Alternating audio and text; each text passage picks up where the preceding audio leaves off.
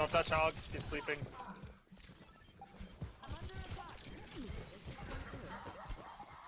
Diva woke him up.